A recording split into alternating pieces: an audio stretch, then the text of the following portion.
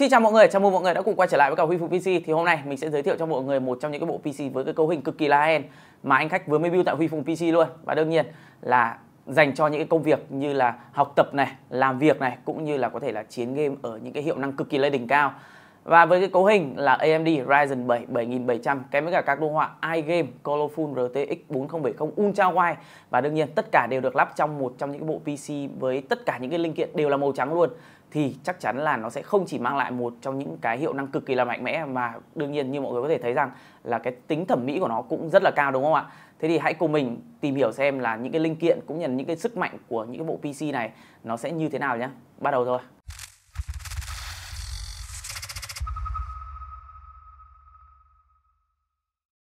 Ok, thì đầu tiên mình sẽ điểm qua một chút thông số của bộ PC này. Và đương nhiên rồi, đầu tiên chúng ta sẽ có ở đây một em CPU đó là AMD Ryzen 7 7700 À, thì như mọi người đã biết thì mình đã làm những cái clip từ AMD 7700 từ trước cho mọi người rồi và đương nhiên mình đánh giá đây sẽ là một trong những cái em CPU rất là khỏe mà anh em không cần phải mua đến những cái em như là AMD Ryzen 7 7700X với cái thông số là 8 x 16 luồng turbo boost có thể lên tới 5.3 GHz thì đây sẽ là một trong những cái em CPU có cái mức xung khá là cao. L3 cách thì nó vẫn luôn luôn giữ ở những cái mức truyền thống của nhà AMD đó là 32 m. Và đương nhiên những cái tác vụ liên quan đến chơi game kết hợp cùng với làm việc thì nó cũng sẽ rất là ngon và nhanh về cái mức TDP ăn điện cơ bản của nó thì nó cũng khá là mát và đâu đó nó cũng chỉ khoảng tầm 65W mà thôi. Thế nên đây sẽ là một trong những cái em CPU mà nó ăn ít điện cũng như là nó sẽ đem lại một cái hiệu năng và cũng như nhiệt độ cực kỳ là tốt nhá. Và để tản nhiệt cho em chip này ấy, thì mình có sử dụng một em tản nhiệt nước All-in-One có kích thước rad lên tới 360 mm và đương nhiên với cái em mã là Thermalright Aqua Elite White thì chắc chắn là nó có thể cân tốt được em 7700 này. Còn về phần main thì mình có lắp sẵn ở đây, một em main đến từ MSI B650M Gaming Plus Wi-Fi. Và đương nhiên rồi, khi mà nó lắp cùng với cả em 7700 ấy, thì chắc chắn là nó cũng sẽ rất là ngon. Bởi vì bản chất của em main này, nó được trang bị lên tới 10 phây điện VRM thế nên là cho dù anh em có lắp 7800X 3D vào đây, hay là những cái em chip đời cao hơn, thì chắc chắn là nó vẫn sẽ hỗ trợ rất là ngon. Ngoài ra thì với cái em main này, anh em hoàn toàn là có thể sử dụng được những cái công nghệ được trang bị sẵn ở trên chiếc main này. Ví dụ như là những cái công nghệ ép sung RAM lên tới 7200 MHz đến từ cái công nghệ Expo này hỗ trợ lên tới hai cổng SSD M2 Gen 4 này. Và đương nhiên rồi, hàng tá những cái công nghệ thiết bị ngoại vi khác khi mà anh em muốn cắm I/O ở đằng sau nữa thì em bên này nó đều được trang bị đầy đủ cả với ba cái combo main chip cũng như là tản nhiệt nước kết hợp như thế này thì chắc chắn là anh em hoàn toàn có thể là yên tâm rằng khi mà anh em trải nghiệm những cái tựa game thiên về CPU như là CS2 và Valorant ấy, thì cái con số nó cho ra cũng cực kỳ là kinh ngạc. Chẳng hạn như là khi mà mình test FPS ở tựa game Valorant thì anh em có thể thấy rằng là cái mức FPS của nó cũng đã có thể nhảy vọt lên tới 600 FPS. Còn về tựa game CS2 thì anh em có thể thấy rằng là FPS cho ra cũng rất là cao, ở khoảng tầm từ 4 đến 500 FPS ở độ phân giải Full HD và đương nhiên là thiết lập hai setting rồi với những cái mức FPS này ấy, thì mình nghĩ rằng là anh em hoàn toàn là có thể dư giả để có thể cắm vào những cái em màn tần số quét cao như là 360Hz, 240Hz cực kỳ là thoải mái và mượt mà. Và đương nhiên chắc chắn với cái con số FPS này thì chắc chắn là anh em hoàn toàn có thể trai hát cũng như là gần như là anh em hoàn toàn có thể thi đấu bằng cái bộ PC này luôn. Và đương nhiên rồi trong cái quá trình mình trải nghiệm ấy thì cái mức tiêu thụ điện của em AMD này nó cũng sẽ khiến mình khá là kinh ngạc. Bởi vì em CPU 7700 nhà AMD này nó vẫn cho ra một cái hiệu năng cực kỳ là ổn định ngay cả khi anh em chạy ở mức điện năng cực kỳ là thấp. Ở những cái tựa game mình test như là set 2 ấy thì như mọi người có thể thấy rằng là nó chỉ ăn đâu đấy khoảng tầm từ 60 đến 65 W điện mà thôi. Nhưng cái mức xung của nó chạy rất là cao vẫn rất là ổn định. Và đương nhiên điều này nó cũng sẽ dẫn ra được những cái vấn đề ví dụ như là về vấn đề nhiệt độ tỏa ra ở em chip này nó cũng sẽ rất là mát. Nó kết hợp với cả em tản nhiệt nước Thermalright này ấy, thì mọi người hoàn hoàn toàn là có thể thấy rằng là cái mức nhiệt của nó chỉ đâu đó khoảng tầm từ 50 đến 60 độ mà thôi còn về làm việc ở trên chiếc CPU 7700 này ấy, thì chắc chắn rồi nó vẫn sẽ đáp ứng rất là tốt với cả 8 x 16 luồng. Tất cả những cái tác vụ liên quan đến công việc sáng tạo như là Photoshop, Premiere hay là những phần mềm 2D render nó vẫn hoạt động rất là trơn tru và mượt mà. Và đương nhiên cái số điểm khi mà mình test ở những cái phần mềm như là Budget Bench, Photoshop nó cho ra rất là cao và thậm chí là nó còn cao hơn cả i5 14600K.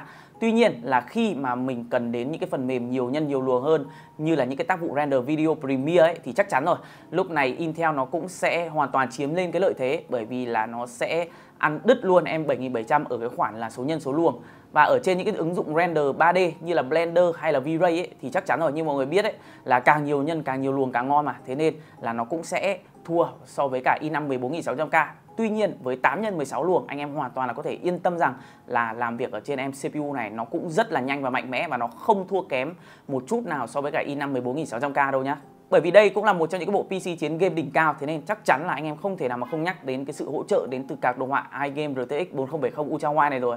Và đương nhiên là với cái em RTX 4070 này thì cái sức mạnh của nó sẽ dành cho những cái anh em nào mà muốn chiến hết tất cả những cái tựa game AAA ở cái độ phân giải 2K max setting. Ngoài ra ấy, thì bởi vì bản chất nó là những cái em card đồ họa RTX 4070 4000 series, thế nên nó sẽ có những cái công nghệ hỗ trợ tương đương, ví dụ như là DLSS 3.5 hoặc là frame generation độc quyền ở trên những cái dòng card RTX 4000 series đổ lên. Và khi mà mình test ở độ phân giải 2K max setting, ở tựa game Cyberpunk, ở thiết lập đồ họa max setting, ray tracing on, thì anh em có thể thấy là FPS luôn luôn đạt trên 100 FPS và một trong những cái con số FPS cao như vậy thì anh em hoàn toàn là có thể thấy rằng là với cái sự hỗ trợ công nghệ đến từ DLSS 3.0 cũng như là frame generation thì nó cho ra một cái lượng FPS cũng như là cái độ mượt mà nó tốt như thế nào đúng không ạ? Và ngoài ra ấy, thì khi mà mình test ở trên cái tựa game Black Myth Wukong ấy, thì FPS nó hoàn toàn đạt lên 100 FPS và chắc chắn mà với cái mức FPS này ấy, thì anh em hoàn toàn là có thể chơi ở trên những cái ờ, độ phân giải 2K hoàn toàn là mượt mà và cực kỳ là cho ra được những cái hình ảnh rất là sắc nét. Bản chất của em RTX 4070 này ấy, thì nó cũng sẽ hỗ trợ cho anh em rất là nhiều những cái ờ, công nghệ liên quan rồi. Thế nên là khi mà anh em mua những cái em cạc này mà anh em không sử dụng được những cái công nghệ đấy thì mình nghĩ rằng đây cũng sẽ là một trong những cái thiếu sót rất là lớn đấy bởi vì là khi mà lúc này anh em bật những cái công nghệ này lên ấy thì nhân ray tracing này cũng như là nhân tensor của những cái em RTX 4070 ấy nó sẽ được phát huy được hết tất cả những cái hiệu năng và những cái tiềm năng của nó thế nên là nó sẽ giúp cho anh em là giảm bớt những cái gánh nặng khi mà anh em bật những cái công nghệ này lên dành cho những cái em card đồ họa rất là nhiều còn về làm việc 3D thì như anh em đã biết rồi bản chất em RTX 4070 này ấy, nó sẽ được trang bị lên tới 12GB RAM Thế nên là những cái phần mềm liên quan đến 3D như là Chao Advantage, Enscape, Lumion, V-Ray, Unreal Engine 5 thì chắc chắn là anh em hoàn toàn là có thể chọn em 4070 này làm các đồ họa làm việc bởi vì là nó hoàn toàn có thể đáp ứng được nhu cầu làm việc 3D của anh em nhé. Về phần bộ nhớ ấy, thì đương nhiên rồi, đây sẽ là một trong những cái bộ PC high-end mà thế nên là tối thiểu ở đây mình đã là trang bị sẵn ở đây bộ PC lên tới dung lượng 32GB RAM rồi. Thì đương nhiên ở đây mình cũng đã lắp sẵn hai thanh RAM 16GB đến từ nhà Silicon Power màu trắng luôn với bớt là 5002 sẽ giúp cho anh em là làm hết tất cả những cái việc liên quan đến đa vụ cũng như là những cái việc khi mà anh em chơi game streaming hay là làm việc render nó cũng sẽ tốt hơn rất là nhiều.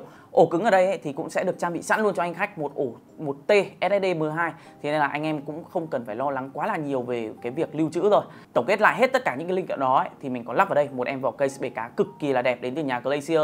với cái mã là FCGL29A với ba fan đằng trước thì chắc chắn là nó sẽ giúp cho những cái bộ PC của anh em là cực kỳ thoáng đãng và thông gió hơn rất là nhiều. Với cái mức giá hơn 39 triệu đồng mà anh em đã có một trong những cái bộ PC high-end mà nó có thể là vừa làm việc này, vừa chơi game AAA ở những cái độ phân giải cao này và thậm chí là nó sẽ đem lại cho anh em một cái hiệu năng cực kỳ là tốt ở những cái phần mềm render 3D như là Chao Advantage, Enscape, Lumion vân vân. Nữa thì anh em nghĩ sao về bộ PC này? Đừng quên cho bọn mình xin một like và subscribe và anh em muốn build một bộ PC nào, cấu hình bao nhiêu đừng quên nhắn cho bọn mình ở cái phần link ghim ở bên dưới nhé. Xin chào và hẹn gặp lại.